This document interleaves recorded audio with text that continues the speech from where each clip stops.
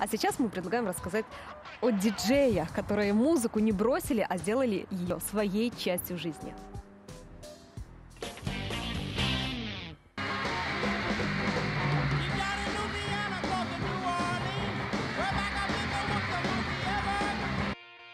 Появлением дискотек в 50-е ведущих танцвечеров называли диск-жокеями. Впоследствии слово сократили до аббревиатуры «диджей». У этих ребят даже своя терминология. Яблоко, блин, антискольжение и боч. Как со всем этим управляться, знает гравер. По паспорту Сергей Березуцкий. Последние 12 лет он провел за диджейским пультом. Увлекся музыкой Сергей еще во время школьных дискотек. Тогда просто включали композиции для танцующих. Никакого специального оборудования, под рукой лишь кассеты. С улыбкой вспоминает, как ленту зажевывал магнитофон и приходилось перематывать ее карандашом. Я по телевизору увидел первый раз э, выступление диджея ATB. В то время он был очень популярен. Я увидел э, его э, выступление с какого-то фестиваля, и там было движение, когда он показывает, как э, два трека, он перекидывает э, кроссфейдер, и э, меняется музыка. И для меня это тогда вообще было открытие, типа вау. Его коллега по цеху Стас любит большие клубные залы и гастроли. Именно на них пришлось самое золотое время его карьеры. Сегодня развлечения в этих заведениях практически сошли на нет. Клубы уже остались в прошлом, потому что это ночная жизнь, это не всем интересно, не каждой семье это интересно.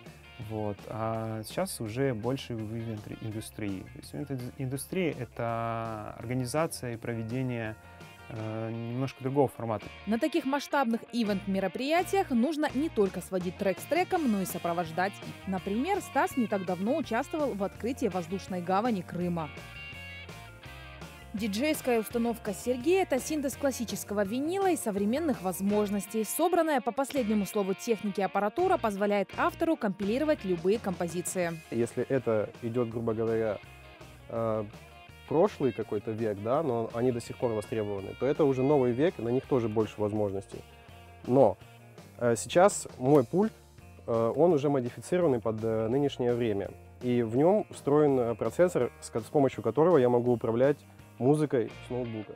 Главное качество такого музыканта – это не техника игры или способы сведения трека, а вкус, выработать который совсем непросто. Для того, чтобы качественно сделать минус, нужно точно чувствовать ритм и хорошо знать музыку, которую играешь. Я могу продемонстрировать, что такое мешап. Мешап – это мы берем две песни, и самые, самые сливки от одной, и самые сливки от другой песни, и накладываем их друг на друга. И получается у нас уже новая композиция какая-нибудь.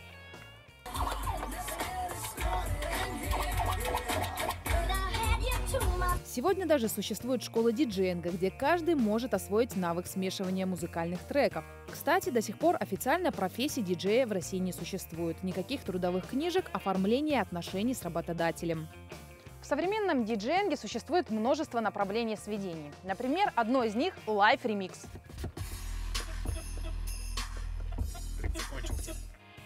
Сейчас требования к профессии возросли. Музыки людям мало. Нужны еще и танцы, номера, все как у популярных артистов.